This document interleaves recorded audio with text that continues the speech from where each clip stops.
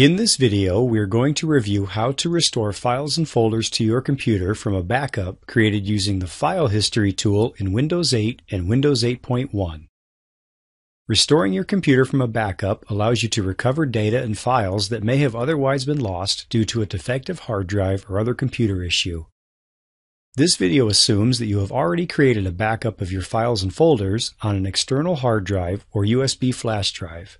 If you have not, Please watch the video backing up your computer in Windows 8 File History to create a backup. To begin, connect the hard drive or USB flash drive that contains your backed up files to your computer. Close any pop-up windows that may appear. Next, if you're using Windows 8, right-click the bottom left corner. If you're using Windows 8.1, right-click the Windows icon in the bottom left corner. On the menu, click Control Panel. When the control panel appears, make sure you're in one of the icon views and click File History. The File History main screen will appear, showing your backup drive. To begin restoring files, click Restore Personal Files. The Home File History window will appear. To quickly restore all of the file folders and library folders shown, click the green button at the bottom. When the Replace or Skip Files window appears, click Replace the files in the destination and all of the backed up files will be restored.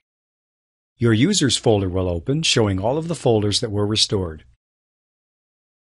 If you only want to restore a single file, go back to the main screen for File History and click Restore Personal Files.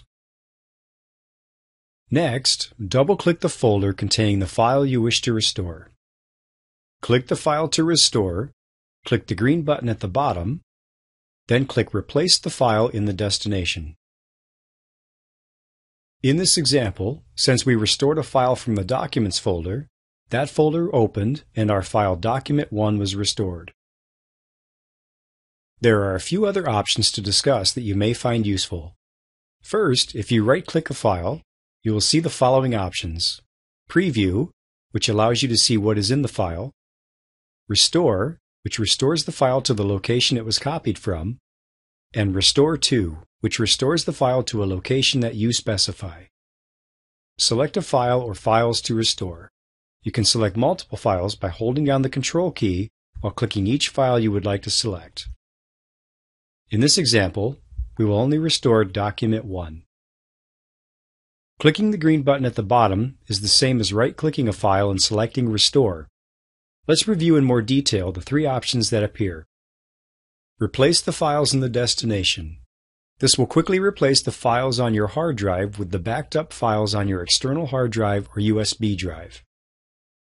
Skip this file basically cancels the operation, although when this is clicked, it oddly appears as though the restore proceeds. Double checking the original files, however, confirms that the backed up files do not get restored. Compare info for both files, or if you selected multiple files, you would see Let me decide for each file. In the example shown, clicking on Compare info for both files will show all of the file conflicts and allow you to select the files from Documents, which are the backed up files, files already in Documents, or both. As noted at the top, if you choose both versions of the file, the backup file will be restored and have a number added to the file name. Let's click Replace File in the destination, and the Documents folder will now appear showing our file that was restored. If you're not sure which backed up file to restore, you can use the Preview feature. For example, double-clicking on Document 3 will show the contents of the file. Note that this is backup 7 of 7, as shown here, it says this is the latest backed up copy of document 3. However, maybe this isn't the one I'm looking for. To see earlier backed up copies, click the left pointing arrow at the bottom. In backup 5 of 7, the contents say, This is the latest backup of copy of document 3. Well, that one is grammatically incorrect, so I don't want that one either. Let's try backup 4 of 7. This is the one I want we can click the green button at the bottom to restore the file. Now we could replace the existing file, but what if I want to keep the existing file and the backed up file? To do this, click Compare Info for both files. Note that you have the option to keep both the original file by clicking the checkbox next to Files Already in Documents and the backed up file by clicking the checkbox next to Files from Documents. You could also select the checkboxes next to the files themselves if you prefer. Click Continue, and when the Documents folder opens, you will see that the original document 3 has been retained and the backed up copy was restored with the number 2 in parentheses added to the file name. We can verify this by opening each file to see the contents. Double-clicking Document 3 shows that it is still the latest backed up copy.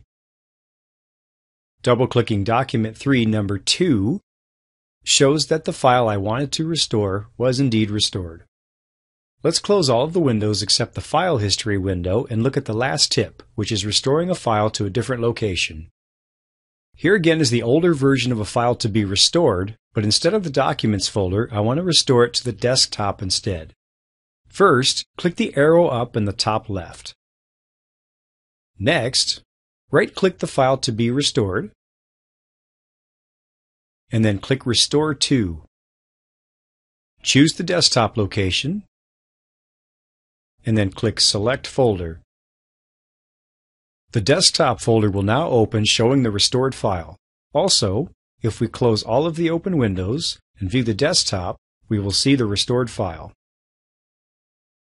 In this video, we reviewed how to restore files and folders to your computer from a backup created using the File History tool in Windows 8 and Windows 8.1. The show notes for this video are available by clicking the link below the video. Please help to support helpfulvideotips.com by subscribing to this YouTube channel and visiting helpfulvideotips.com to follow along on social media. I'm Tom Sutton. Thank you for watching.